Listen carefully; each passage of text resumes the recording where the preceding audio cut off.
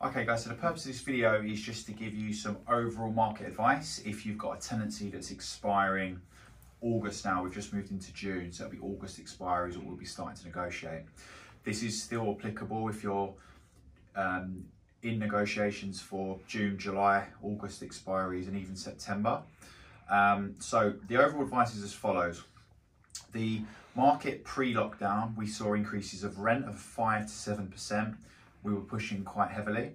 Of course, now since lockdown, there's been a lot of supply that's come into the market and it's effectively negated the gain that we did have in the first quarter, January to March. So as we now sit here in June, the, the, the market picture is that there's a lot of supply, but there's also a lot more demand. It's too early to say post lockdown if there's been a movement on pricing, but what I can say is that the increase has been negated because there are a lot of um, reductions in the marketplace. The reason why I say it's too early to say if that's true value or not is because a lot of the reductions have been forced by landlords that were unlucky with their timing and they've been empty since March. So, you know, they've had two to three months void to contend with. So they've kind of been pricing to the bottom just to attract the tenant.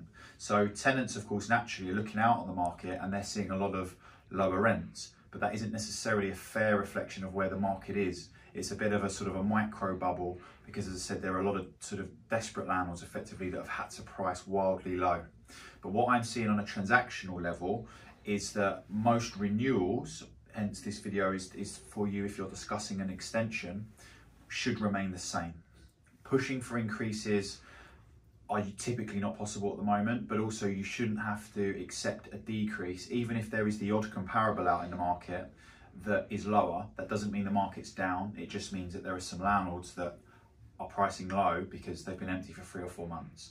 So it's um, it's too early to say if there's been a movement in price. My firm belief, what I'm seeing at new transaction level, is that we're getting very close to current rent, so you know 2019 rent.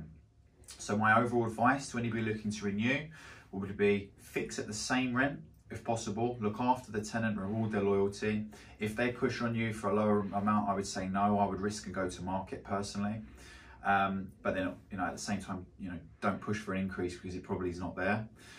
As a, as a prerequisite for any negotiation at the moment, you do not want to be coming available in the winter cycle this year, particularly. We think it might fall off a little bit towards the end of the year. So my advice is renew and try and fix until at least January, February next year. If you can get a fix for 12 months into next summer, that would be the ideal. So summary, fix for 12 months, same rent, that would be a good deal for you as a landlord.